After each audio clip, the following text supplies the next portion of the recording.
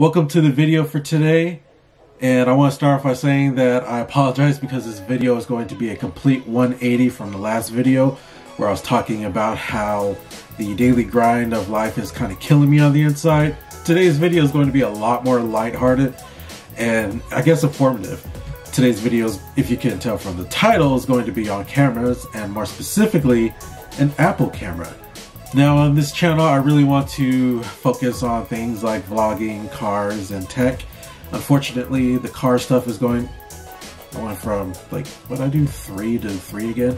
Anyways, I'm going from the car stuff down to the vlogging and tech stuff, much more specifically camera stuff today. Because of the way things are going on with money lately, won't be able to do much on car stuff for a little while, but I can talk about tech.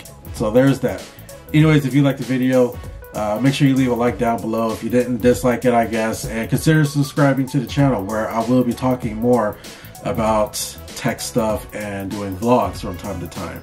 And eventually when I can get back to it, maybe I'll do some car vlogs. But anyways, let's get started on the video today. I think I spent enough time not talking about it, but I think that Apple really should come out with their own dedicated camera. You know, not a camera that's on one of these smartphones, but an actual mirrorless camera. Now, lately I've been getting more and more into photography and videography. I've been doing a lot of research on cameras and techniques and stuff and actually understanding what ISOs and apertures and f-stops and all that stuff means. And the more I research into this stuff, the more I realize that I think it would be a great idea if Apple came out with their own camera.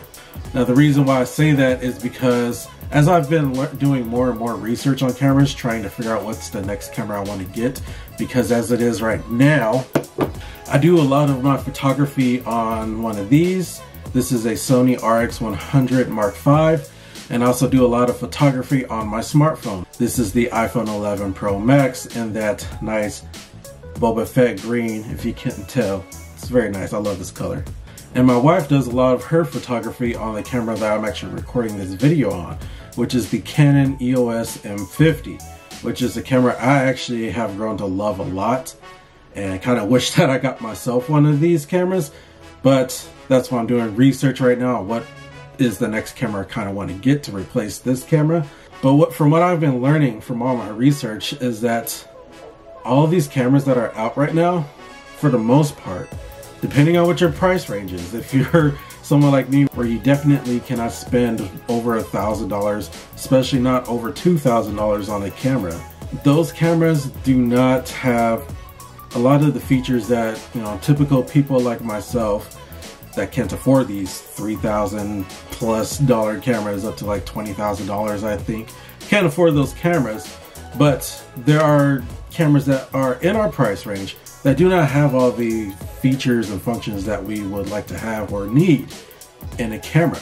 And so that got me thinking, you can get one of these phones, this iPhone 11 Pro Max, and this is a smartphone. This, this phone does a lot more things other than just take pictures and videos.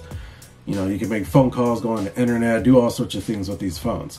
And this phone right here, for 256 gigabytes of storage, internal storage, um, you're looking at around twelve, thirteen hundred dollars, I think, brand new. Versus some of these cameras that are out right now, which are like three thousand dollars and still can't really reproduce some of the same stuff that this phone can do when it comes to videos and photography.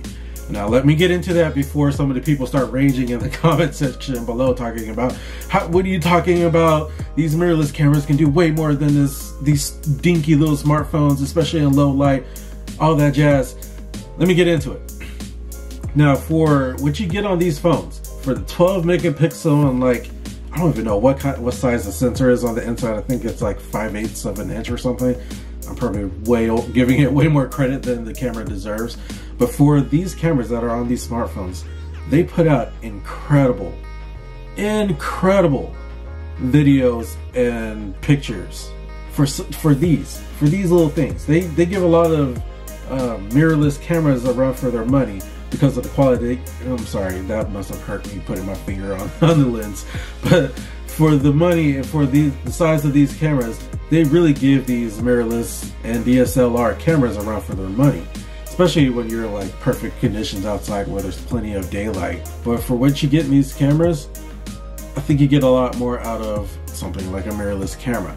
So I think if Apple really buckled down and actually created a mirrorless camera, where in said mirrorless camera, they put the processor of these phones into that camera, we got a winner on our hand. Especially, and also if they put the features that are in the camera app that the iPhones have in that camera, plus you know the standard extras that each of these cameras typically come with, plus with like an iOS kind of OS on the camera, so it can be really easy for anybody to understand what these different options and menus do easy to navigate and all that stuff versus like the menu system and the Sony cameras, which are awful.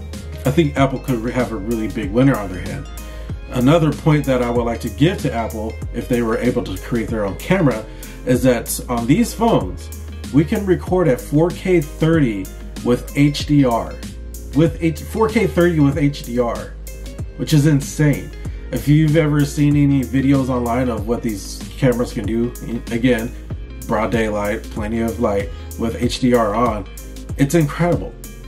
And it's something that I would really love in a camera myself because for me, I'm a colorblind person, so doing the color correction afterward, it's not something that I can really do that easily, especially for people that would suggest to kind of circumvent or get kind of the same thing that you get with HDR on these cameras.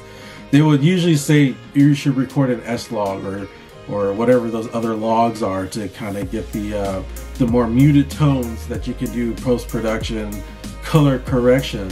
I can't really do it, so for people like me that are colorblind, the HDR function, to me at least, is incredible and it works well enough and it's something that I can just record and just post. Well, after I edit it, of course. Versus something like shooting on a dedicated mirrorless camera or a Sony, you have to do post color correction on your videos and for me I usually just do the automatic thing on the iPhone. I don't know how good the colors actually are when they're produced but besides all that if you could get HDR recording at 4k 30 on a mirrorless camera for a good price below 1500 bucks Apple will have a winner on their hand. Plus these processors are super powerful like they can do a lot of things. And I can't even imagine what kind of things they'll be able to do on a dedicated camera. You know, something that has 24 megapixels like the Canon EOS M50 versus the 12 on this phone. So it's like double the megapixel count. Plus the sensor size on that camera is way bigger than the one on this iPhone. But the other thing I want to talk about is how the iPhone does a lot of post processing of the photos where it really brings out the details of the photos. I think they call it like deep fusion or something, where it brings out like the little details in sweatshirts and stuff. It's pretty cool stuff. Plus the low light photography, the um, I guess the I forget what they call it, the low light photography mode in the iPhone, but it's pretty incredible where you can just handheld hold your phone for like three seconds and you can get an incredible low light nighttime photo versus having something like a dedicated camera where if you try to handhold it, especially without like uh, IBIS or any kind of image stabilization, the camera is going to, at least for me, because my hands shake a lot, the photos are always going to come out fuzzy for me. So if I could get like the same kind of technology and processing as you do in these photos in a camera, let me tell you, it would be a game changer. Especially, again, I'm gonna keep reiterating on this, if the price can be below $1,500 for a new camera with with internal storage. That would be amazing. So a camera with internal storage and a slot for um, for expanded storage would be amazing. I think Apple could do it for less than fifteen hundred dollars. But let's be serious, Apple. It's Apple, so it'd be like a two thousand dollar camera.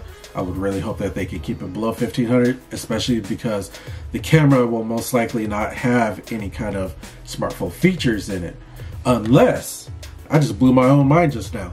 Unless Apple decides they want to put cellular in these cameras, where we can take photos with these cameras, maybe even do a little photo editing like we can do on our phones, and then post it straight to Instagram from our cameras. That would be in, insane. That would okay. That at that point would be worth two thousand dollars if you could take insane photos with the camera, do some uh, photo editing on the camera, and then directly post it to Instagram or Facebook or Twitter or wherever you want to put this photo. That's amazing.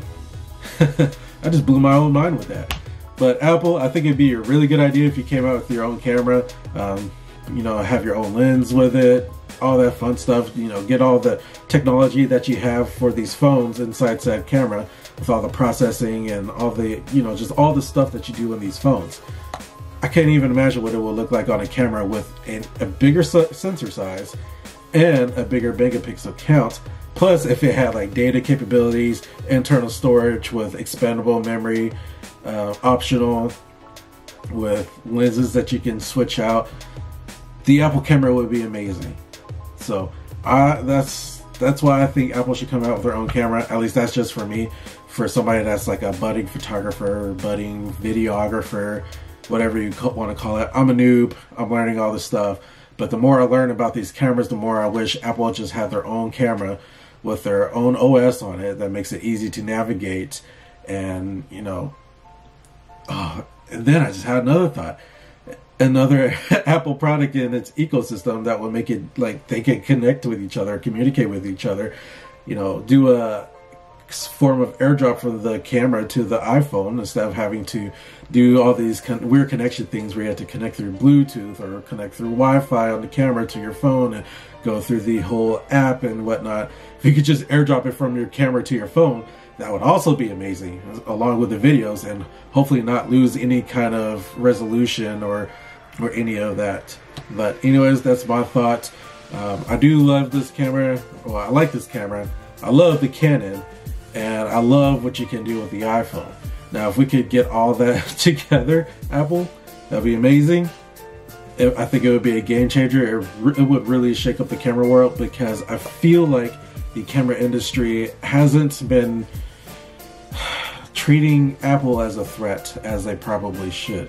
I mean, like I said earlier, these cameras are actually giving a lot of mirrorless and DSLR cameras a run for their money when it comes to the quality of these videos and photos, especially with the HDR of these phones. The HDR function is amazing and it makes doing stuff like that way easier for a colorblind person like myself anyways those those are just my thoughts. Tell me what you think down below if you agree with me or disagree.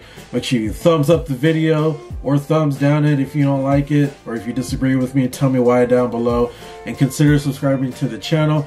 Like i said i'm going to try to do a lot of tech videos and vlogs and i'll get back into the car scene whenever i can. But for now tech and vlogs is what i'll be focusing on. And i'll catch up with you in the next video. Peace